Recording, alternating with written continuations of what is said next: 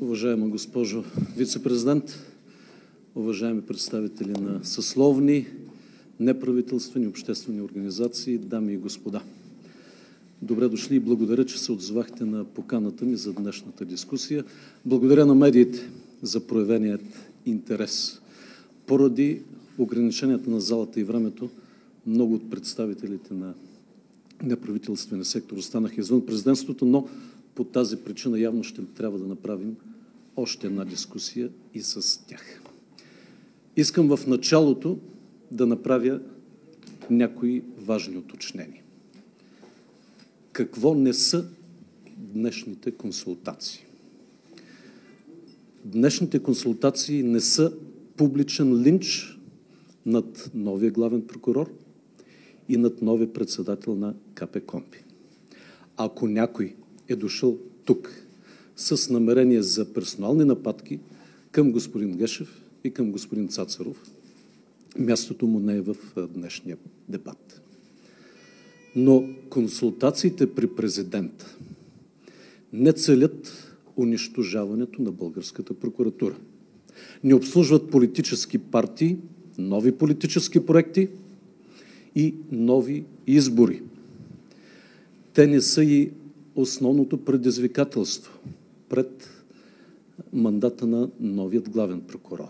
Напротив, ако неговата кауза е обективна, независима и ефективна прокуратура, той може и би следвало да се възползва от тези консултации, защото те целят точно това. Една прокуратура може да се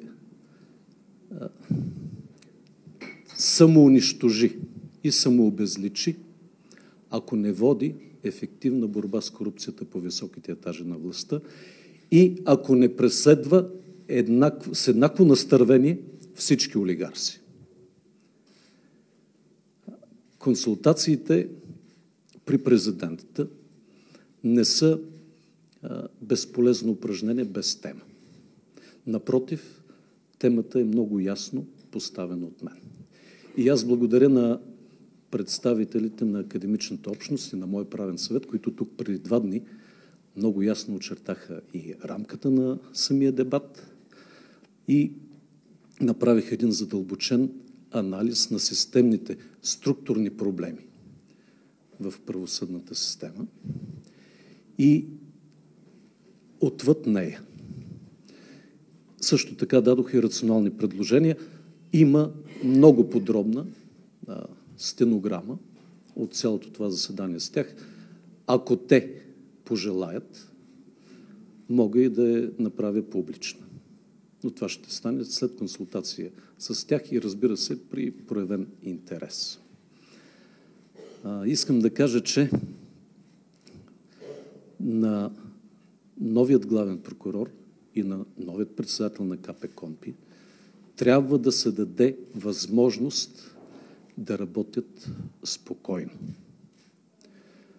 От новия главен прокурор неговата задача е да убеди обществото, че брани закона, а не управляващите и определени олигарси.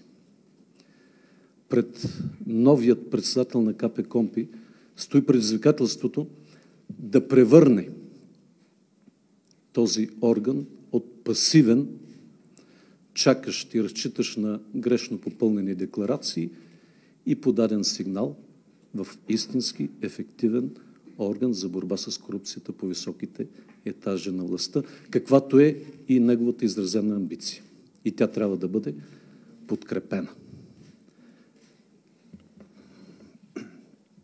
Трябва обаче да отчитаме, че това са изключително трудни задачи в страна, в която корупцията е държавна политика. Цитирам предишния главен прокурор, който пък цитира един по-по-предишен главен прокурор. А, и наистина усилията и тази тежка задача на тези двама хора трябва да се води в условия, изискващи подкрепа на обществото, защото това са изключително трудни задачи. Но мога да кажа, че ако те не навлязат в епицентъра на корупцията и престъпността, общественият натиск съответно ще нараства. И е нормално да бъде така. Аз мисля, че обществото ни става все по-чувствително на темата корупция, на темата скандали, които много бързо затихват по медиите.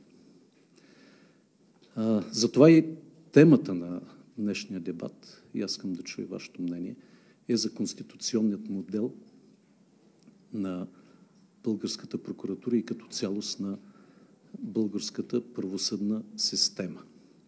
Има ли място и нужда от промени в Конституцията, за да гарантират а, силни, ефективни и независими съд и прокуратура и ако има какви и по какъв начин. Бих отишъл и по-далеч. Има ли място за промени в нашата Конституция, които да гарантират реално разделение на властите, които да сложат бариера пред колективната безотговорност, пред ерозията на държавността, пред възможностите за авторитаризъм, пред паралелната власт, работеща зад фасадата на демократичните институции. Има ли възможности и трябва ли да засилваме правата на българските граждани, да засилваме прозрачността, отчетността и отговорността на институциите и най-вече на управлението на държавата. Промяната, според мен, е належаща. Тя може да стане по два начина. Единият е начина, по който сме се събрали тук. Чрез диалог и чуваемост между институциите и гражданското общество. Така както е в една нормална, цивилизована държава. В обхвата с механизмите и в рамките на закона.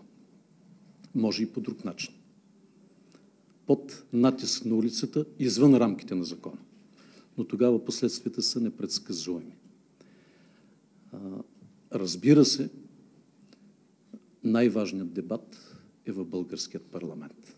Там е мястото, където се дебатират всички тези възможности, всички последствия от промените, по какъв начин да станат. Това го решава накрая българския парламент. Но тъй като аз определено ще предложа по силата на тази конституция предложение за промяна на Конституцията, за мен е много важно това предложение да има широка обществена основа. Затова и благодаря, че сте тук, защото вашето присъствие е изключително важно. То показва и още едно, както и желанието на всички тези хора, които останаха отвън, че явно обществото ни започва да излиза от апатията. Започва да се отърсва от страха, да изразява по-свободно своето мнение, да се консолидира около каузи с висока обществена значимост и да показва, че има енергия за промяна.